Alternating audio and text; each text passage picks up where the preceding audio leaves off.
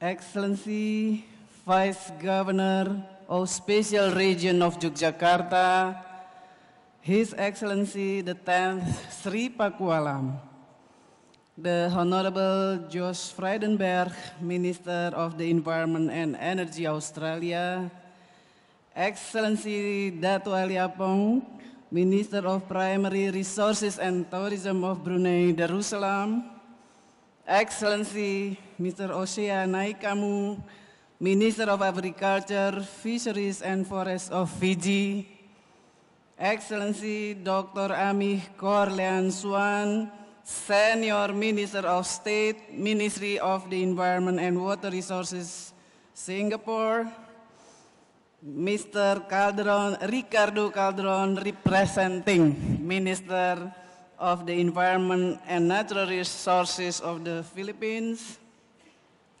Director General of CIFOR, Excellency Ambassador of Norway, Honorable Representative of Governments, distinguished guests, ladies and gentlemen.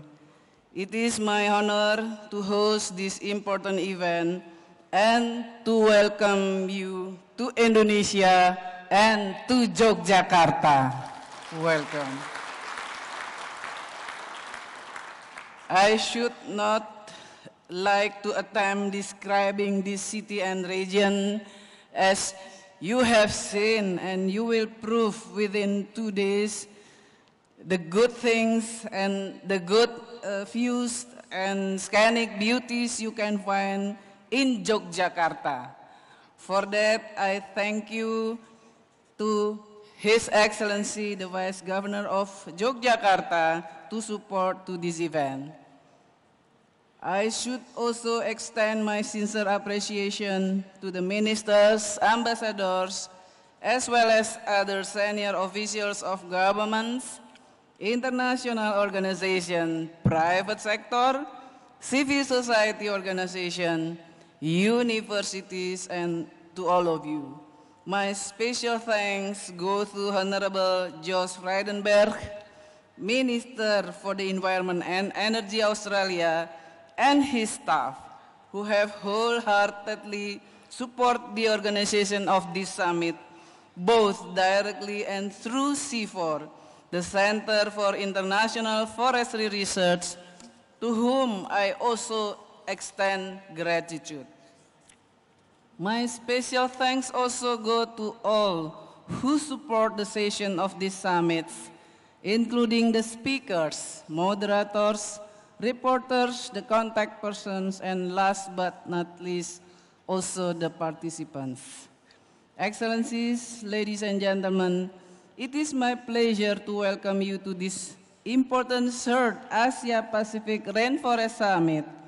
The rainforest in Asia Pacific span across 740 million hectares. Therefore, contribution from the region is worthy of consideration. Apart from that, more than 550 million people's lives are dependent on the sustainable management of forests. As we are aware, rainforest constitutes a compendium of life, both directly or indirectly experienced, producing both tangible and intangible products, including biodiversity. Forest has a long list of benefits, if we look at the Sustainable Development Goals, forest has roles in the achievement of so many of them, such as climate change, water, food, energy, health, terrestrial ecosystem, job opportunities, industries, livelihood, sustainable cities, sustainable consumption and production, and so on. So many of them. This summit will last only two days and might not be able to address all aspects of the importance of forests. Rather, we will address seven topics, namely forest in NDC, restoration and sustainable management of peatland, mangrove and blue carbon, community forest, ecotourism and conservation biodiversity, production forest, forest finance, investment and trade, and they are condensed into the theme of the summit that is protecting forests and people supporting economic growth. Excellencies, ladies and gentlemen, in regards to the climate change, I understand that many countries in the Asia-Pacific put forests among the important sectors to achieve its nationally determined contribution. I believe that in the region, we can nail it. What we need to do is to identify the most significant roles of forests in the NDC and do our best to undertake the necessary measures. As for Indonesia, we realized that forest was a major contributor to carbon emission, mainly due to forest fire especially on peatlands. It represented 18% of our national emission target. We therefore did whatever we could to reduce the fire, such as suspension of new permits on peatland and primary forests, which is well known as the moratorium, and promoting law enforcement, good governance, social forestry, among others. With regard to the good governance, Indonesia promote through the Indonesia Timber Legality Assurance Systems, or in Indonesia we call it Sistem Verifikasi Legalitas Kayu or SVLK, which has become the first such system recognized by the European Union.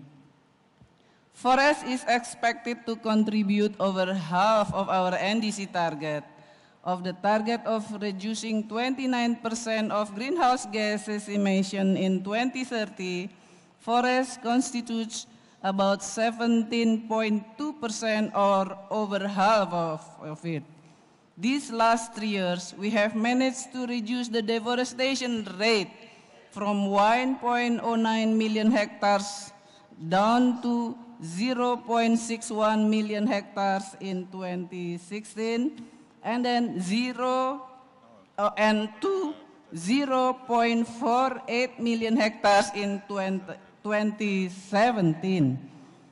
Uh, in 2020, we put the target of deforestation down to 0.45 and in 2030, we put the target of 0.35 million hectares. I understand that many countries have passed the stage of endeavoring to reduce the rate of deforestation and have bounced back to a positive net change of forest cover. However, for a country with a quarter of billion people living on many thousands of islands, forest land usage for other sectors of development is a necessity. This is also true in West Africa, as I noted from my visit to Brazzaville and Kinshasa last month, where vast areas of peatlands have just been discovered. Indonesia's experience and success in controlling peatland fires have been an important reference. And with the guidance of UN environment, we are now preparing to set up an international center for peatland research based in Indonesia the center that we can learn from each other. Other measures to achieve the contribution of forests to emission reduction are enhanced implementation of sustainable management principles in both natural production forests and plantation production forests. And secondly, rehabilitation of degraded lands of the 12 million hectares by 2030 or about 800,000 hectares per year with 90% survival rates and peatlands restoration of 2 million hectares by 2030 with 90% rate of success. Excellency, ladies and gentlemen, apart from climate change, the second sub-theme of this summit is concerning social forestry. I trust that this is an important subject for the majority of countries in this region, and particularly in Indonesia. These last years, Indonesia has undertaken major measures to promote social forestry. We have set a target to allocate about 12.7 million hectares by, by then uh, for social forestry, comprised of five types.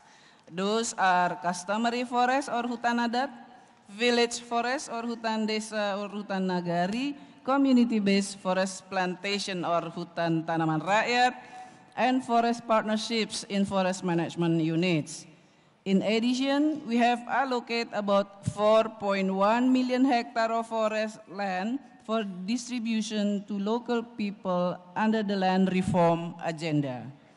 Now that, that you are in Java Island, you can easily notice result of the social forestry program.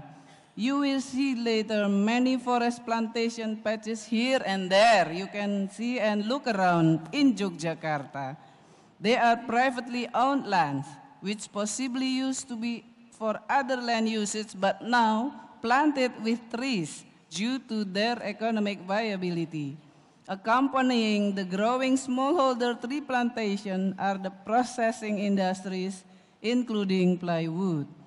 These trends have been against all odds, as in Java, we used to import timber from Kalimantan and Sumatra, and now it is in the other way around, that Java timber goes across the straits to Kalimantan, Sumatra, and other places in Indonesia. Congratulations for Java. Excellencies, ladies and gentlemen, there are the points that I wish to highlight on this occasion. I believe there will be opportunities to address the other fields of importance such as mangrove, ecotourism, and biodiversity conservation. I look forward to follow and learn from the whole proceeding. Indeed, this kind of learning from and supporting each other in the region are important benefit of this summit. This is not only among governments, but all stakeholders. Among others, I recognize the important roles of the private sector. Public-private partnerships should be promoted in order to accelerate achievement of our major agenda, such as the NDC and SDGs. Distinguished guests, ladies and gentlemen, lastly, I do thank you very much to Minister Josh Frydenberg for our cooperation and also for our more than one year preparation for this summit. Thank you, Pak Jos. Also for co-hosting. And also thank you to CIFOR and all Indonesian uh, colleagues from relevant ministers for making this summit available.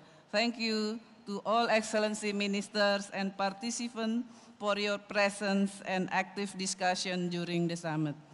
With that, I would like to conclude my remark by wishing you a productive event and also an enjoyable one.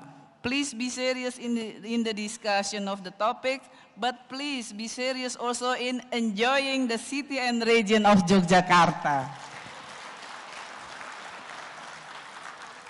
Don't miss the field trip on Wednesday, which will give you a lot of knowledge about this region and about Indonesia.